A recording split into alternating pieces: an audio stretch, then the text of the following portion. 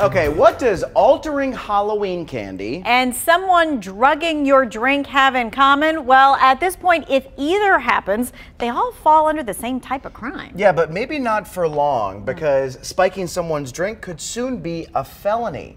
Yes, a felony. Our news partners in Charlotte pushed for change. Check out the bill now in front of lawmakers.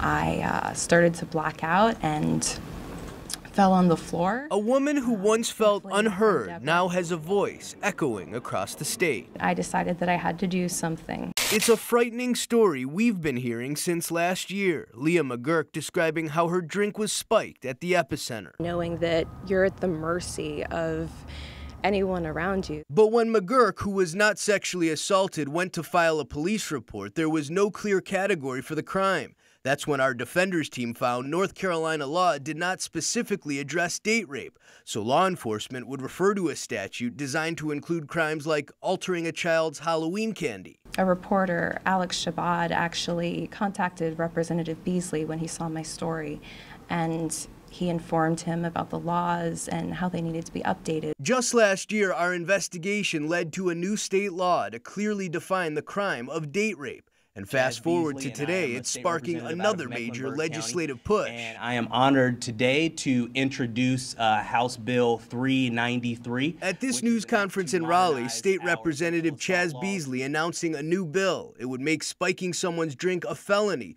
regardless of whether the victim is sexually assaulted. Right now, we have a statute that makes drugging or adding some sort of foreign substance to someone's food illegal, and this expands that to make sure that drinks are also included. It leaves you feeling like you're in no man's land as a victim and like the law isn't actually there to protect you. So this really modernizes our laws. Representative Beasley says the bill has already received bipartisan support, and it's gaining momentum with help from this woman who brought the issue to light. I'm very glad that something good is coming from this. House Bill 393 has passed its first reading and is now on to the Judiciary Committee. Now, three Triad area representatives are listed as sponsors. Amos Quick, District 58, Pricey Harrison, District 61, and Cecil Brockman, District 60.